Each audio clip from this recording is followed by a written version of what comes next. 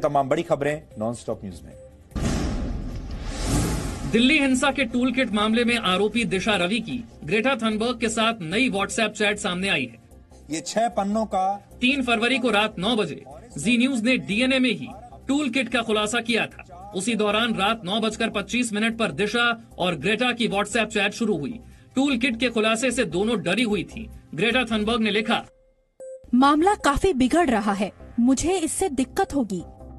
Shit shit इसमें हमारे नाम है। हम पर यूएपीए लग सकता है। ऐसे नफरत वाले आंदोलन कई बार बड़े हो जाते हैं। हम घबरा रहे हैं क्योंकि यहाँ हालात बिगड़ रहे हैं। हमारी कोशिश रहेगी कि तुम्हारे ऊपर आँच ना आए। अभी हमें सोशल मीडिया से दूर रहना चाहिए। ग्रेटा और दिशा की इस चैट के वक्त टूल किट खुलासे पर जी न्यूज़ का hashtag Greta Thunberg exposed number one trend कर रहा था। ग्रेटा ने तीन फरवरी को टूल किट ट्विटर पर शेयर किया था। उसके बाद डिलीट भी कर दिया था। टूल किट मामले में दिल्ली पुलिस ने पीजेएफ की मीटिंग को लेकर जूम कंपनी से जानकारी मांगी है। पुलिस के मुताबिक पीजेएफ की 11 जनवरी की मीटिंग में 60 से 70 लोग शामिल हुए थे। दिल्ली पुलिस ने कहा, दिशा रवि से पूछताछ में कई और नाम सामने आ सकते हैं। दंगा क्रिएट करने का एक कॉन्स्परेसी थी। जिस जो टूल किट जो लीक हुआ था, उसके बाद ही हमें पता चला और उसके इन्वेस्टिगेशन चल रहा है।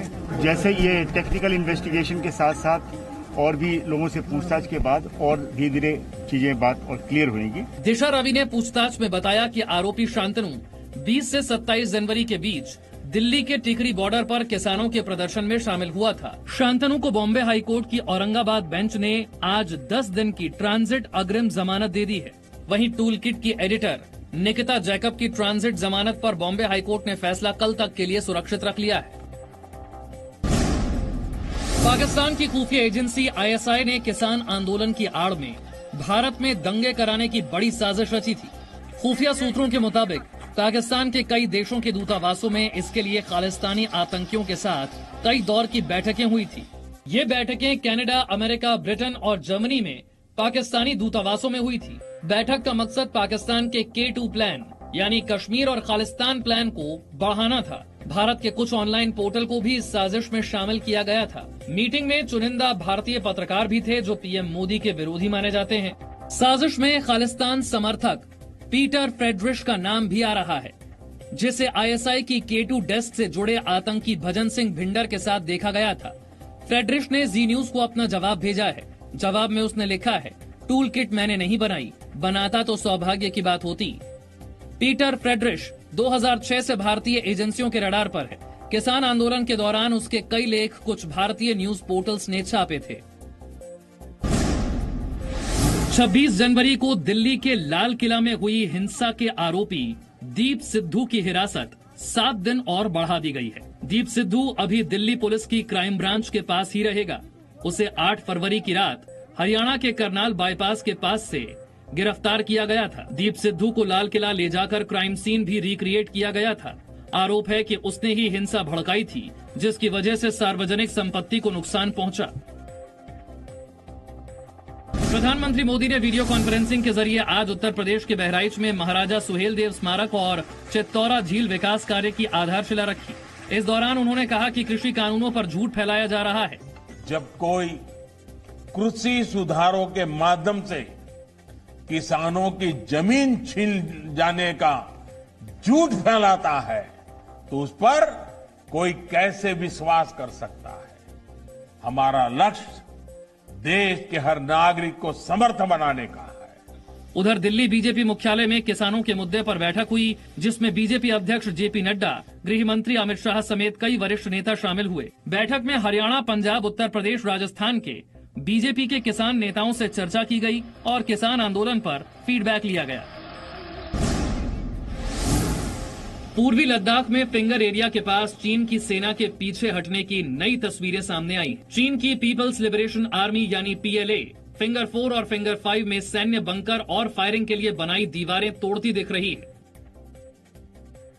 चीन की सेना फिंगर फोर से एट के बीच अस्थायी निर्माण और बंकरों को भी तोड़ रही है, जिसे उसने घुसपैठ के बाद बनाया था। इससे पहले चीन के टैंक पीछे हटकर 50 किलोमीटर दूर सैंगडोंग बेस पहुँच चुके हैं। पूरी प्रक्रिया पर भारतीय सेना की नज़र है। 20 फरवरी तक दोनों देशों की सेनाएँ पीछे हट जाएँगी। उसके 48 घंटे के अंदर डेपसांग के मैदान सहित दूसरे विवादित मुद्दों पर कोर कमांडर स्तर की चर्चा शुरू होगी। भारत और चीन के बीच एलएसी पर नए समझौते के मुताबिक चीन को फिंगर एट के पीछे सिरजाप टू पोस्ट के पास जाना है, जबकि भारत की सेना फिंगर थ्री के पास धन सिंह थापा पोस्ट पर रहेगी। 11 फरवरी को रक्षा मंत्री राजनाथ सिंह ने संसद में दोनों सेनाओं के पीछे हटने के समझौते का ऐलान किया था। मध्य प्रदेश के सीधी में हुए बस हादसे में मरने वालों की संख्या सैतालीस हो गई है। अब तक बयालीस मृतकों के शवों को उनके परिवारों को सौंप दिया गया है। आज सुबह सीधी से सतना जा रही बस बाणसागर नहर में गिर गई। बस में तकरीबन 60 यात्री सवार थे। कुछ यात्रियों के बह जाने की आशंका है। सात यात्रियों को बचा लिया गया है। मध्य प्रदेश सरकार ने मृतकों के हर परिवार को पाँच लाख रुपए और केंद्र सरकार ने दो लाख रुपए का ऐलान किया है। पहली प्राथमिकता, राहत और बचाव कार्य की है। घटना बहुत दुखद है। लेकिन जो बेहतर प्रयास हो सकते हैं, उनमें कोई कसर नहीं छोड़ेंगे। चश्मदीदों के मुताबिक तेज रफ्तार बस का संतुलन बिगड़ने की वजह से हादसा हुआ। बस में छात्र भी सवार थे जो परीक्षा देने जा रहे थे।